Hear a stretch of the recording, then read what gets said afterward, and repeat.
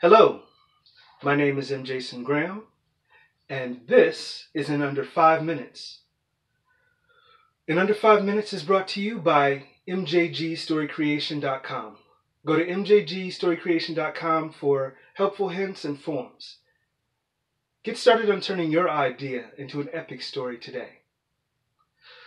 So, today I wanted to talk about how you get started on your outline typically um, when we have a story in our heads, it doesn't come out fully formed, fully fleshed. It, it, it, doesn't.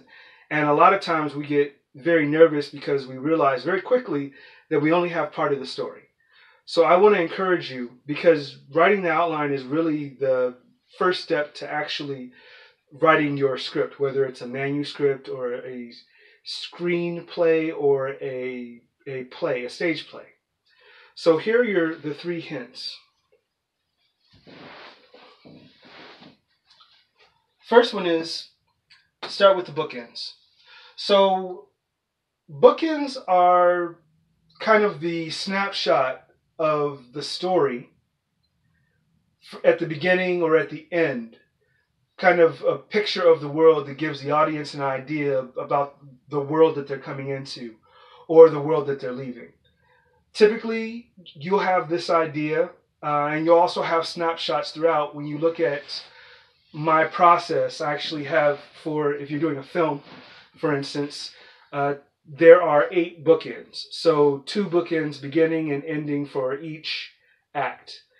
If you can figure those out then it gives you some place to start with the information that's in between those.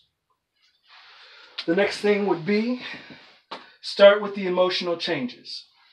Now, this is a good one to start with, particularly if you have an idea of what kind of story that you want to tell. Your character needs to learn and grow, and so you have those scenes in your head which are growth scenes, which is to say something happens to the character, and then acknowledgement scenes, which is to say when the character begins to acknowledge the change they need to make and why. Uh, these are very important because characters have to grow and change during the course of the story. I know that it's not um, typical to say that about the antagonist or the antagonist characters, but uh, it really is important and adds to the wealth of your story. The final um, thing that you could start with would be key plot points. So, whereas when you're looking at emotional changes, you're kind of looking at the life of the character on the inside, key plot points uh, focus on the action of the story.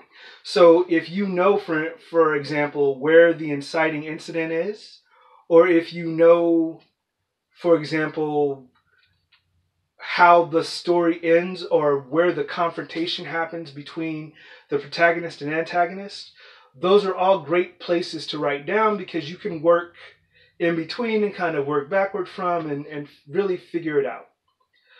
I would say, as far as emotional changes are concerned, you want to be careful that you're not doing a, a trope, which is to say, you're doing something that looks like a scene from Romeo and Juliet it can be similar to it and kind of a callback to it, but you don't want it to be the same.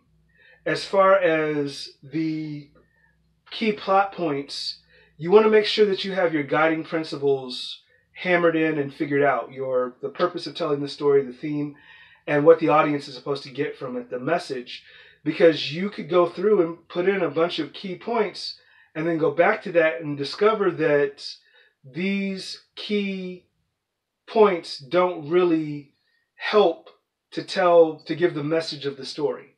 And so you have to end up changing them anyway. And trust me you you don't want to do that. My name is m. Jayson graham and this has been in under five minutes.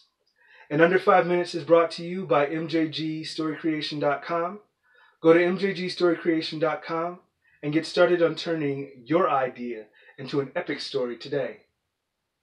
I'll see you next time.